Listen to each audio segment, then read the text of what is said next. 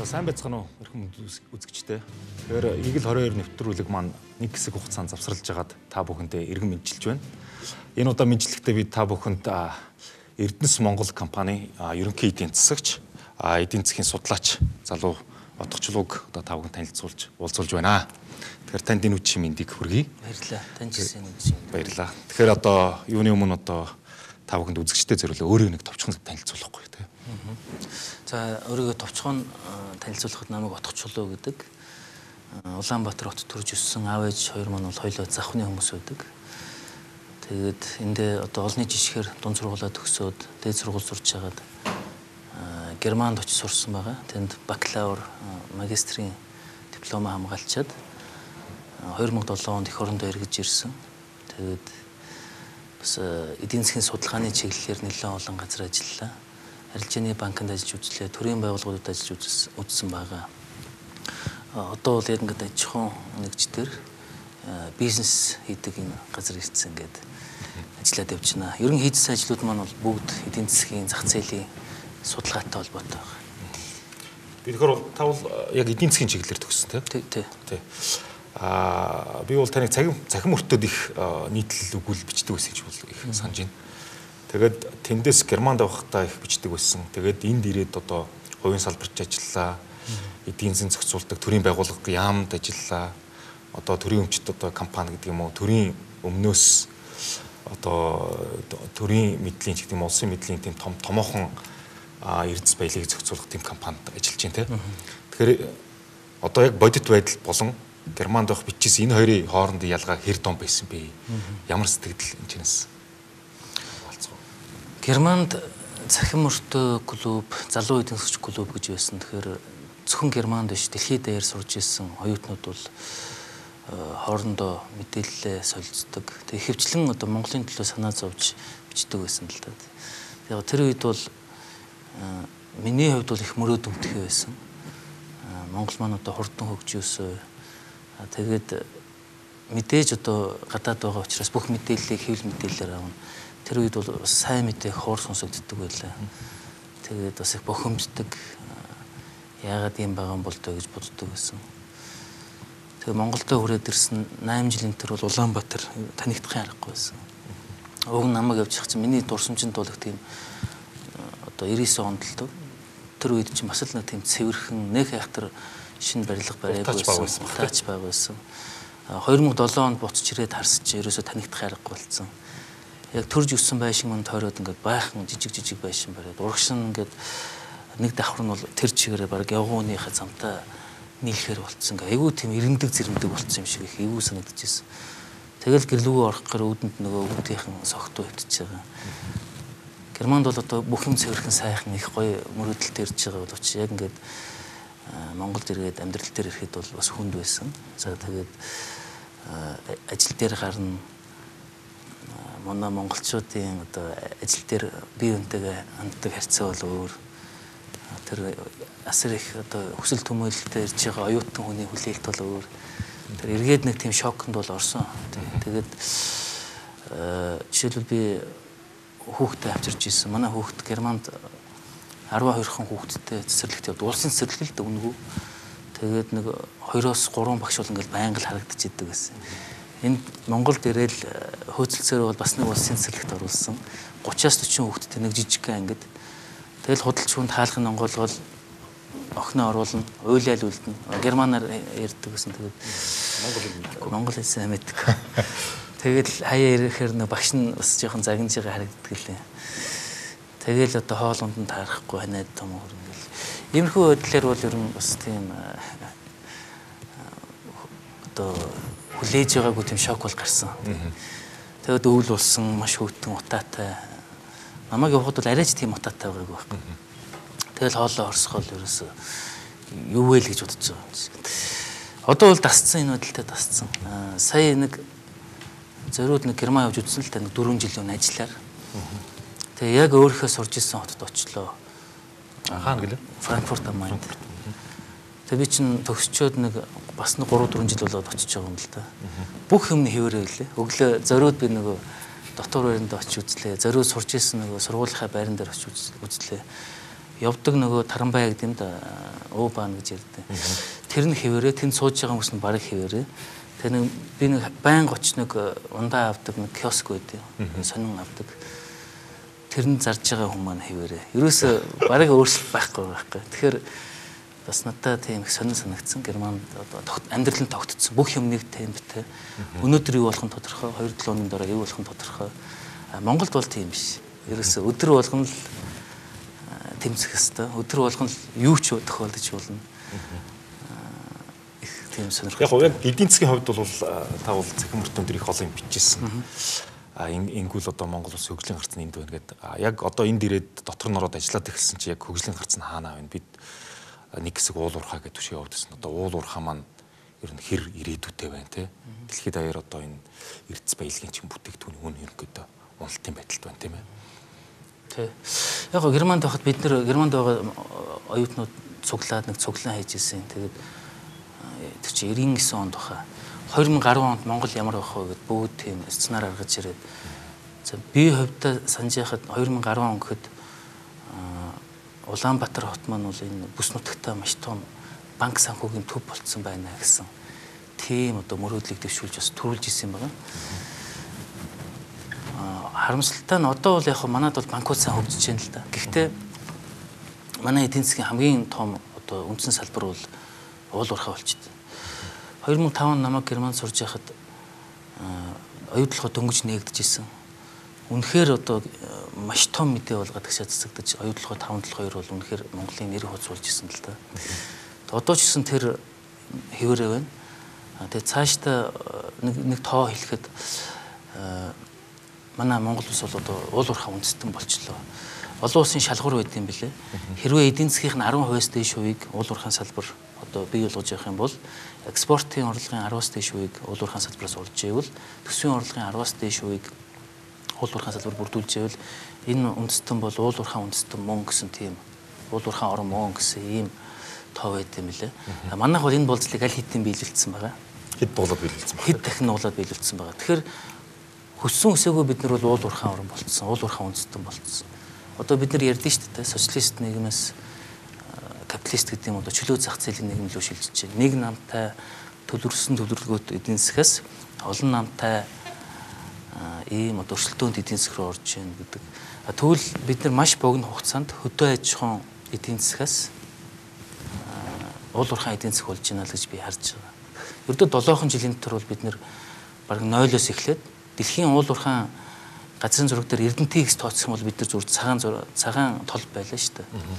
Одоо бол бид нар бүс нутагтаа нэлээд томд ордог. Ялангуяа дэлхийн одоо бүх худалдаа авалтын 50%-ийг дангаараа хангаж байгаа хэд хэдтээр бол бид нэр тэнд уламжлалт одоо оролцогч байсан тоглогч нарыг бол нэлээд айлгадаг болсон юм том тоглогчдод хувирцсан байгаа. Тоглогч болоод хувирцсан. Байгаа. Тэр энэ бол сансрын хурдаар явагдсан. Мэдээж энийг одоо гүйцэж ойлгох энэ процесс маань одоо ингээд араас нь хөөгд явж л байна л да. Тэрхий хурдан болсон биш үү? Тэрхий хурдан болсон. Тэгэхээр саяхан бол оюу тулгын далд уурхайн санхүүжилтийн гэрэн дээр бол гарч сурсан. Ер нь бол энэ миний ойлгож байгаагаар маш сайн мэдээ одоо Монгол Улсын засгийн газраас ч гэдэг юм уу та бүхний зүгээс Монгол улстай барьж байгаа томоохон бэлэг байсан баг. Тэгэхээр энэ сайн мэдээ маань гадаадад одоо юу гэдэг гадны хөрөнгө оруулагчдын хувьд бас сайн мессеж сигнал болж чадсан уу?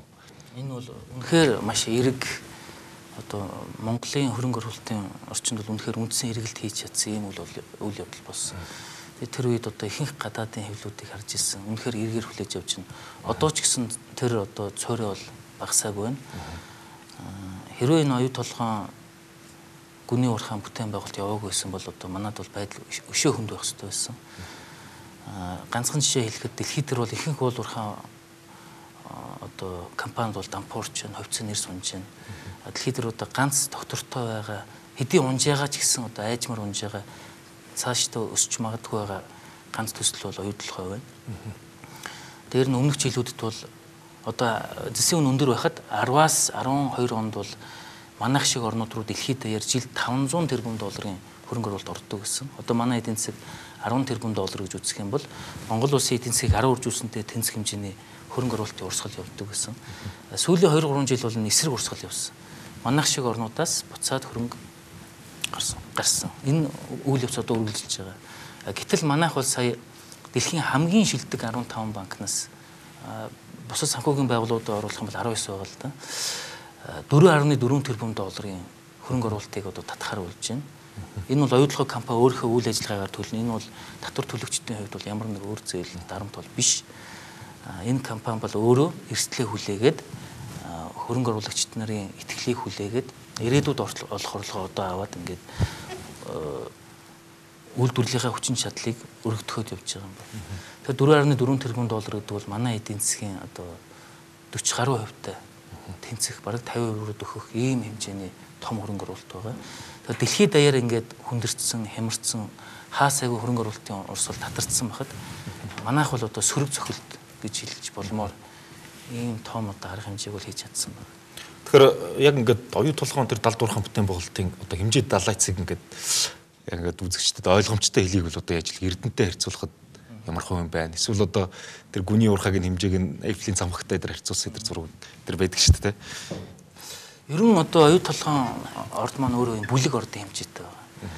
Тэгэд анх одоо тэр ил уурхаг нэгт бол цөөн хідэн одоо одоо хийгч байгаа өрөмдлөгтэй харьцуулах юм бол цөөн хідэн өрөмдлөг хийж цооног байгуулсан байдаг. Тэгээд тэр чинь янз бүрийн статистикийн аргаар таамагладаг. Гэхдээ ингээ олборлтын явцд бол байнга ингээд өргөмжлөгөө хийгээд олон баталгаажуулдаг. Хөдрөө ингээд баталгаажуулаад явд юм байна. Одоо бидний яриад байгаа энэ талд уурхаа гэдэг нь бол одоо нэг 15 давхар барилга гэж үзэх юм бол 2 дугаар давхрын барих гэж байгаа. Бид нэр 2 дугаар давхраа барьж иж 3 4лөгөө орно. Одоо энийг хийж иж бид нэр цаад ордууд руугаа нэвтрэх байхгүй. Ер нь бол газрын доор юм том 15 усан үзмийн үзмээс бүрдсэн юм хонхорцог гэж манайх ярьдаг те. Ийм одоо бут байна л гэдээ ойлгож хэрэгтэй л те. Тэгэхээр нэг одоо жимшийг авчаад дараагийн жимшийг авахын тулд ингээд одоо ч ухах ёстой шүү дээ. Тэгэхээр энэ бүтээн байгуулалт бол одоо хамгийн чухал бүтээн байгуулалт юм байна. Ягаад гэвэл энэ оюу толгоон ордын нийт үр ашигын 80% нь бол газрын гүндээ байгаа. Тэгэхээр 1500-аас 1800 метрийн гүнд бол энэ олборлох ажил бол хийгдэнэ. А тэгтээ ер нь урт хугацаанд бол а зэсийн үн бол мэдээж стратегийн бүтээгдэхүүн учраас харьцангуй унах нь бага байх байх гэсэн тийм таамаглал байгаа юу? Ер нь бол одоо хэтийн зах зээл дээр нийлүүлэлт өсчөөд өсчөөд өсчөөд байгаа учраас нийлүүлэлт нэрэлтээсээ давчаад байгаа учраас үн бол унчаад байна. Гэхдээ цаашдаа бол зэсийн эрэлт бол өсөх нь одоо гарцаа үүж үзэж байгаа. Ягаад гэвэл нэг хүнд оног одоо оногдох зэсийн хэрэглээ бол дэлхийд дээр өсөж байна. Хэтийн хүн ам бол өсөж байна хятад бол одоо хотчлт бол хүчтэй явагдаж байна. Тэр нэг байшинд нэг машинд хэрэглэгдэх зэсийн тоо хэмжээ бол өсөд байна л да. Тэгэхээр зэсийн үн бол урт хугацаанд бол тогтвортой үе өсөх юм хандлагатай байгаа. Манай хоёр хөршийн хувьд бол бас эдийн засаг бас тийм тодорхой биш байл л да. Оросын хувьд Украины асуудал, Сирийн асуудал гэдэг ерөнхийдөө гадныхан эдийн засгийн харилцаагаа бууруулж байгаа санкц тавьсан юмуд байдаг. Mm -hmm хэдтэй үед ярих юм бол эдийн засгийн бүтцийн өөрчлөлт хийж байгаа шиг байна те. Эрэлт одоо юу гэдэг экспорт чиглэсэн бодлоос илүү дотоод хэрэглэр хөөж игэлсэн хандлага руу шилжиж чинь ингэснээр өсөлтийн хурдад удаашрч чинь гэдэг. За энэ бүхнээс хамаарат манай нөгөө гол экспортлдог бүтээгдэхүүнүүд маань үнэн буучсан. Тэгээд уул уурхай гэхээр энэ үнэн буугаад байдаг. Өөр гарч ирнэ байхгүй юу? За Оросын холбооны улсын хувьд бол мэдээж тэр барууны орнуудын зүгээс тавьсан санкц бол нөлөөлж байгаа. Гэхдээ Орос бол түүхийд манайхтай адилхан уул уурхайн түүхийд экспортлдог орн. Тэгвэл санкц байхгүй Бразилийг аваад үзэл та. Оросоос ялгаагүй бүр Оросоос илүү хүчтэй эдийн засаг нь урдтай агш унж байна. Венесуэл байна. Ер нь одоо уул уурхай экспортлж байгаа ихэнх орнууд бол маш хүнд байдалтай байна. Тэгэхээр энтэй харьцуулахад бол Орос улыг тэр төвшөнд л байгаа. Тэгэхээр тэр санкц кейсээ илүү энэ ялангуяа газрын тус байгалийн хейтер бол юм дайн явагдаж байна л да. Ямар дайн явж байна гэхээр би өгөхөр чи өгөх гэдэг л дайн явж байна л да. Ямар ч одоо үйлдвэрлэгч үн унах юм бол ажлын байрыг хадгалж үлдэхийн тулд зардлаа хадгалж үлдэхийн тулд тоо хэмжээг өсгдөг, нийлүүлэлт өсгдөг. Тэгэхээр нийлүүлэлт өсөхөөр үн чи эргээд ундаг. Ийм житгэрийн тойрогт орчод байгаа. Гэхдээ энэ бодол бол нэг удаан үргэлжлэхгүй байх. Ягаад гэвэл одоо ихэнх газар экспортлогч орнууд бол хязгаартай хүрчээд байгаа л да. Энэс цааш бол явах хязгаартай хүрсэн. Том том компаниуд нь дампуураад эхэлжлээ. Тэгээ яалчгүй төслүүдэд зогсоогоод эхэлж байгаа. Тэгэхээр нийлүүлч өөрөө зах зээлийнхаа жамаар ингээд зогсоод эхлэхээр үн эргээс сэрэх баг. Тэгэхээр зарим нийлүүлэгч нар зах зээлээс хаягдаад аяндаа нийлүүлэлт ер нь багасаад эхлэх юм шүү дээ. Яг энэ үйл явц хизээ ингээ ёроолд өр зогсоод буцаад хизээ өсөх хандлага руу орох? Судлаачдын үзэж байгаагаар бол одоо энэ оны дунд үеэс энэ оны одоо дунд үеэс одоо 16 оны 2 дугаар хагасаас сэрэх болов гэсэн ийм хандлагатай байгаа. Зарим судлаачид бол энэ оны эцэхэд жишээлбэл газрын төсний үн бол нэг 60 хүрчих болов 70 хүрчих болов гэсэн юм нэлээд зоримог өөдрөг таамаглуудыг хэлсэн байлаа. Гэхдээ ингэж таамаг гэж хэлэхэд бол эртөө яг бол өмнөх жилийн 2 жилийн өмнө дэлхийн одоо хамгийн мундаг судалгааны байгууллагууд өөрсдийнхөө таамгийг хэлсэн. Аль нь ч биелээгүй. Тэгэхээр зах зээл бол өөрөө нэг байгалийн давчгүй хүч гэдэг шиг өөрчлөн харахад бол үнэхээр төвөгтэй болж байгаа. Хятадын үед бол байдал өөрлөлтөө. Хятадын эдийн засаг маань өөрөө 11 их 80 11 тэрлион долларын эдийн засаг байгаа. Аа манайх бол 11 тэрбум доллар. Тэгэхээр манайхаас 1000 дахин том зах зээл гэсэн үг. Хятад эрэлтнээ хунаадагаад үн унаатайгаа биш гэж би үзэж байгаа. Нийлд өсөд байгаа учраас илүүд л нөөц бий болчиход байгаа учраас хүмүүсүүд байгаа. Тэгэхээр хитэн энэ авраг том эдийн засаг бол цаашаа бол өсдөхөр өснө. Энэ том эдийн засаг 6 өрс чинь 5 өрс чинь гэл хэлээд байгаа ч гэсэн тэр том юмны 5% гэдэг чинь 11 триллионы 5% тий. Тэр чинь бас л их том шүү дээ. Тэгэхээр манай хувьд бол боломж байгаа. Хамгийн гол нь одоо энэ нэг чөтгөрийн тойрогт орцсон энэ өрсөлдөөн дунд одоо тэсжүүлтгэл чухал. Одоо бид нэр дахиад нэг хэдэн сар тэсэх хэрэгтэй. Ингээ харж яхад бусад орнууд бол ингээл аргагүй ирэхэнд ээлж дараалал төслүүд зөксөөгөл байна л да. Тэгэхээр бид нар бас дагаа зогсчихгүй хэн шиг ямар ч хэлсэн энэ нүүрсний салбараа аваад гарах нь бол маш ашигтай. Энэ бол Монголын ард түмнүүдийг үе эдийн засагт бол одоо бидний хувьд одоо цорын ганц баримлах стратеги нь болж байгаа. Тэгэхээр одоо энэ тодорхой хугацаанд одоо юу гэдэг эдийн засаг буцаад сэрэгтэл тэсжүүлэхэд бол ямар ямар арга хэмжээ авбал зохистой вэ? Энэ элдв одоо хүн суртлуудыг бууруулад за тэгээд яг мэдээж одоо төсөв алдагдал өндөртэй байхад ялангуяа сонгуулийн жил зардал өндөртэй байдаг. Тэгээд энэ сонгуул өгцсөн богино хугацааны юм хийж энэ салбараа бүр нэг одоо сайлын үнэ гэж манайхаа ярьдаг те. Бүр нүд антил нь ховх суралгүйгээр ядаж нэг жоохон тэнхэртэл нь одоо үлдээгээс л гэж би боддог л доо. Тэгээ сая өнгөрсөн нэгтгэд бол засгийн газар маш чухал арга хэмжээ авлаа. Нүүрсний салбараа дэмжиж роялти тооцдог тэр суурь илүү компаниудад үйлдвэрлэгч нартай илүү ашигтай уян хатан болгож өгсөн байгаа. Зардлыг бууруулах арга хэмжээнүүдийг авч өгч байна.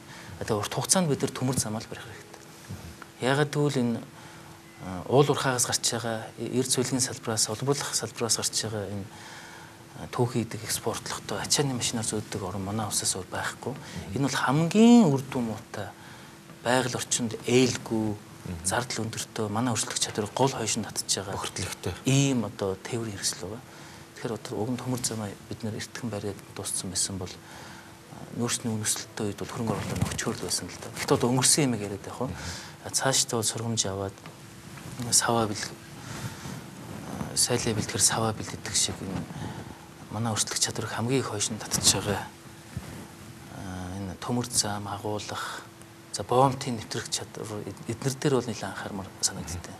Тэгээ манайх одоо баялгаа өнгөө гадагшаа зөөгдөн гэдэг их буруу ойлголттой байдаг үгүй. Бид нар роялти авах ёстой татвар авч чаддаг. Тэгээ манай улсын нүүрсний нөөц бол монголчууд өөрсдөө бүр хамгийн тансаг байдлаар хэрэглэлээ чинь бол хэдэн зуун жил хэрэглэх юм нөөц байгаа байхгүй. За тэгээ хятад руу бид нар жилд 20 сая тонн нүүрс гаргалаа гэхэд л биднэрт бол одоо нэг 5 толгоос тэгэхэд эн чинь нэг 30-аас 40 жил одоо байгаа мэдэгдэж байгаа нөөцийг гарах хангалттай юм хэмжээний нөөц битэр байгаад байгаа. Тэн чинь цаашаа өссөн шүү дээ. Ер нь ямар ч уурхаа дээр бол нөөц бол өсдөг. Яг л ашиглалтын явцад цаашаа байнга өргөндлөг хийдэг учраас бол нөөц өсөөл идэг. Одоо Эрдэнтэг Эрдэнэт бол анх бол тооцоолж явахдаа өдөд бол нөөц нь дууссан, зогссон л байх хэрэгтэй шүү дээ. Гэтэл ингээд дахиад 20-30 жил сундсан байгаа. Тэгэхээр энэ нөөц бол байнга өсөөл идэг. Тэгэхээр ер нь хөгжлийн урт хугацааны зорилт гэдэг юм улс орны хувьд байх ёстой юу? Аа тэгээд ялангуяа зорилт байгаад тэрнийгээ тойрсон үзэл санааны тийм үзэл санааны тийм нэгдэл бүх төвшөнд байх нь одоо тэр хөгжлийг хурцсах тэр хөгжлийн талаар бүгд одоо нэгдмэл арга хэмжээ авах тэрэнд нөлөөлдөг? Манайхан ч одоо тэр жоохон дутмаг байх шиг юм л да. Тэгээ ер нь бол хөгжлийн эцсийн зорилго бол одоо монголчууд сайхан л амьдрах хэрэгтэй. Монгол хүн бол дэлхийн хаанч очсон хүлэмж өргөддөг. Мэргэжлэрээ гологддгүү. Дэлхийн одоо ямар ч одоо хэцүү ажил дээр очиод ажиллаждаг. Эрүүл чирийг урт насалдаг одоо урт насалтаараа өндөр боловсралтай за тэгээд дуртай үедээ гадагшаа аялаад юм үзчихдэг. Хүн ганцлантай амьдрын шүү дээ. Тэгэхээр бас үзье гэсэн юм үзчихдэг. Ер нь дундаж монгол хүний амьдрал ийм болцсон багт л би бол Монгол ус хөгжчлөө гэж харахаар байна л да. Тэгээд энэ ингийн тулд бол үндэстэн өөрөө цэцэглэн хөгжихийн тулд санхүүгийн боломжтой байх хэрэгтэй. Санхүүгийн боломжийг бид нар одоо хаанаас олж явах вэ гэхээр эхний ээлж мэдээж уул уурхай байна. Уул уурхай дээр түшиглээд бид нар хүчрэхийг одоо дунж давхрахтай би болох хэрэгтэй юм л да. Германд би нэг судалгаа уншиж ирсэн юм 90-ад оны ихэр л дээ. Тэгээд монголчуудын ус жоох ингээд ерөн хөөрхий дөө гэсэн янзтай. Монголчуудын тухай судалгаа. Тий. Судалгаа байсан л да. Ягаад гэвэл сүүлийн 200 300 жил бол дандаа ингээд гадны даралт байцсан. Үндэсний ухамсар гэдэг ах юм байхгүй. Түүхээ мартцсан. Аж үйлдвэр байхгүй, хадаасаа үйлдвэрлэж чадахгүй. Дундаж давхраг байхгүй Герман тэр зүүн Европын орнуудыг харьцуулах юм бол тэд нар чинь нөгөө коммунист орн зүйл холбоотой улсын нөлөөнд орохоос өмнө тэд нар чинь өөртөө гэсэн нэг тийм капиталист аж ахуйтай байлаа шүү дээ. Чех, Польш эдгээр бол мундаг гэсэн. Манайд бол тийм төөх байгаагүй. Нүүдлийн мал аж ахуй гараад явжсэн тийм. Тэгээд энэ үндэстэн одоо яаж одоо энэ арчилсан орн болоод чөлөө зах зээлийн эдийн засгтай болоод яаж ядуурлаас гарандаа л гэжсэн. Одоо бол эргээд харахад манай улс бол ерөнхийдөө сүүлийн 10 эдхэн жилийн түүхийг харахад манай эдийн засаг бол 13 дахин томорцсон байна. Энэ эдийн засгийн өсөлтөөр бид нар дэлхийд рекорд тогтоож үзлээ шүү дээ. Тэгээ Монгол хүн одоо өнөөдөр Олимпиас очиод алтын аваад ирж байна. Саяхан бас нэг байхын тэмцээн болсон гэж манай залуучууд очиод бүх алтын аваад ирж байна гэж. Тэгээд энэ CNN-ийг харж байгаа заавал очих үзэх ёстой 5 орны нэг нь Монгол болцсон л байна. За ардчлалын үлгэр жишээгээд явуулчихлаа. Тэгэхээр энэ шилжилтийг хийж байгаа ардчлалыг нутагшуулж байгаа энэ тайван замаар ингээд эрх мэдлээ шилжүүлээд явж байгаагаа за эдийн засгтайгаа харьцуулахад маш их хэмжээний гадны хөрөнгө оруулалтыг оруулж ирж байгаа хурдаар бол манайх бол бас үнэхээр сайн байна гэж би бол харж байгаа. Тэгээ одоо хэрвээ тэр тэрийг судалгаа хийсэн герман хүн дахиад ингээд нэг судалгаа хийх юм бол арай өөр дүн хэлэх болов гэж би найдаад байгаа шүү дээ. Та ерөнхийлөгчийн зөвлөхөр ажиллаж тийм эдийн засгийн бодлогын зөвлөх үү? Ерөнхийлөгч ер нь хэр зөвлөгөө авдаг юм бэ? Манай ерөнхийлөгч бол ер нь бол тийм маш олон хүнээс зөвлөгөө аваад тэгээд тэндээс шингээж өөрийн болох чадвар бол үнэхээр гайхамшигтай юм л дээ. Тэгээд яг бид нар хаяа хэлэх үгэнд нь бэлдэж өгнө. Ер нь бол өөрөө л тэндээс санаа авах юм бол аавн. Тэгээд ер нь бол өөрийнхөө үгээр л их явдаг. За тэгээд би ерөнхийлөгчийн зөвлөхөр ажиллаж байхдаа хэд хэдэн хуулийн төсөл дээр ажиллаж ирсэн юм байгаа. Дээд улсрлын санхүүжилт тэр хууль маань явсан л да. Жишээлбэл бидний одоо уул гаргаж ирсэн аргумент бол Монголын дээд улсруулын санхүүжилтийн 97% нь оюутны төлбөрөөс гаргадаг байхгүй юу. Гэтэл нөгөө капиталист гэж байгаа Америкт чинь энэ бол маш бага 30-аас 40% л байгаа. А Герман эднэрт бол бараг 0% байгаа байхгүй. Тэгэхээр Герман, Швед, Америк эднэртэй харьцуулахад манай дээд улсрал бол хитрхи либерал, хитрхи оюутны төлбөр төр түшгэлдсэн байна. Энд бол төрийн оролцоо явах хэрэгтэй гэдэг тийм хууль гаргаж ирлээ. За зөвгийн үр байна. Би өөрөө зөвгөний дүнийг юм байгаа. Энэ бол нөгөө гадаад сурч байгаа оюутнуудаа төгсөөд ирвэл Монголд ирэхээр нуудаа ажил зуучлаад өгчдөг. Хүүхдүүд нь хэрвээ бас айтайхан сургуульд явуулъя гэвэл хөнгөлтэй зээл өгчдөг, моргошинд оруулцдаг ч юм анх одоо иймэрхүү утгаар гарч ирж ирсэн. Нилээн хэдэн залуучууд ирсэн. Тэгээд ихэнх нь бол гайгүй гар хөлөө болоод явж ирлээ. Аа ер нь тэгээд Германд төгсч ирээд туршлага байхгүй ийм залуу хүнийг ерөнхийлөгч дэрэгдээ авч ажиллуулснаар бол одоо ажил олгогч нарт ямар мессеж өгөхийг зорьсон бэ гэвэл одоо байгууллага болгон дэрэгдээ нэг ингээд гаднаас ирсэн мэдээж ажил орохын тулд туршлага хэрэгтэй байгаа шүү дээ. Тэр шалгуурыг бол хангаж чадахгүй. Тэр ийм хүмүүсийг дэрэгдээ авч ажиллуулах юм бол энэ бол гадаад сурч төгсөөд ажиллаад ирж байгаа хүмүүст их том уран зориг болох юм а гэсэн байдлаар авч ирсэн. Тэгэхээр энэ бас хүмүүс нэлээд хөрсөн болов уу гэж би боддیں۔ За би тэгээд бас тэнд макро эдийн засгийн судалгаагаа хийн сар болгон нэг тийм за манай эдийн засгийн юм байна шүү. Ер нь төсвийн одоо алдагдал юм байна, гадаад худалдааны алдагдал юм байна. Манайх тэнцвэртэй байх хэрэгтэй, инфляц юм байна гэдэг юмаа бичиж өгдөг. Тийм л байсан. Би өөрөө чинь намтрыг үзэж байхдаа одоо тэтгэврийн тухай асуудлаар судалгаа хийжсэн гэж би ойлгосон. Тэгэхээр одоо яг манай дээр яг энэ талын гэдэг нийгмийн салбарын одоо шинжилэл жоохон хоцрогдоод байгаа юм шиг санагдаад байна. Ер нь одоо эхний ээлжийн шинжилгээг эхлүүлэхэд бол ямар арга хэмжээ явах хэрэгтэй энэ тал дээр хувийн бодол байна. Тийм би энэ дээр зөвхөн судалгааны э, байдлаар судлаач хүний үднэс л хариулмаар байна л да. Тийм. Дэлхийд дээр бол ерөнхийдөө гурван үндсэн загвар байдаг. За нэг нь одоо ив хамтын гэдэг юм коллектив гэдэг юм тийм. Одоо ажиллаж байгаа залуу хүмүүс нь цалингийнхаа одоо тодорхой хувийг нэг саунд хийчихнэ. Тэр савнаас нь тэтгэвртэй гарцсан ахмад наснууд болон ямар нэгэн байдлаар усаас тэтгэмж явах хэрэгтэй хүмүүс нь ингээд аваад явж байгаа. Одоохондоо энэ бол манад болж байгаа. Ягаад гэвэл залуучууд ихтэй залуучуудын орон учраас. За хоёр дахь нэг том хэлбэр байдаг нь хүн болго өөрөө өөртөө хоримтлол үүсгэж байгаа. За 100 мянган төгрөгийн цалинтай хүн бол за 5 мянган за сая төгрөгийн цалинтай хүн бол нэг 100 мянган ч гэдэг юм. Энэ өөрөө тэгэхээр бас шудар бус юмыг улам өвшүүлээд байгаа байхгүй. Ядуучууд нь улам ядуурна. Төрийн насндаа өрхөөр ядуурна. Баячууд нь улам баяжна. За энийг одоо амжилттай хэрэгжүүлж байгаа нэг орнууд байд юм а. Чил, Англи гэдэг. Аа Германы загвар гэдэг одоо германууд өөрсдөө неолиберал гэж үздэг л. Неолиберал гэдэг нь бол одоо капитализм, социализмын сайн талыг авъя гэсэн үг. Германы загвар бол нэг юм суур тэтгэр байгаа. Тэрэн дээрээ өөртөө нэрийн данстай. Тэгээд хүн өөрөө өсөх юм бол сайн дураараа ингээд даатгал хийгээд тэтгэврт гарсан оноо тэрийг ингээд авдаг. Уучлаарай таныг тасалчих. Аа биднээсийн одоо нэвтрүүлэг яваад 30-аад минут өнгөрлөө. Тэгэхэд одоо та бүхэндээ зар сурталчилгааны цагийн дараа эргээд уулзъя.